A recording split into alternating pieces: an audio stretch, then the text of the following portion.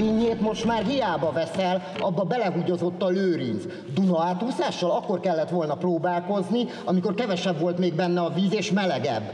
Ehhez képest most elindul az évad, és arról is lemaradsz, mert a színház az egy olyan üzem, ami nem vár rád, de a tünet együttes csak rád vár.